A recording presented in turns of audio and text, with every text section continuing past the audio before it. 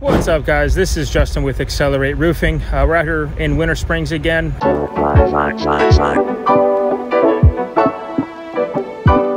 found another homeowner that's got some uh, damage. Uh, let's go take a look. Uh, we're up here on the roof now. Um, I've already walked it, uh, marked up some uh, areas of hail. there's a chimney on here as well that doesn't have a cricket. That's something that we'll have to address. Um, but also walking the roof, I found a couple of soft spots and some good cracking of wood. Uh, it's something I want to make the homeowner aware that there's probably going to be some uh, wood replacement that'll have to be done and uh, we just want to make them aware of that. So up here, and this is the uh, front of the house. Found some impacts on this slope here, uh, along with a test area when I did my impacts over here. Uh, if you can listen closely as I walk, you'll probably hear some of the spots that are cracking.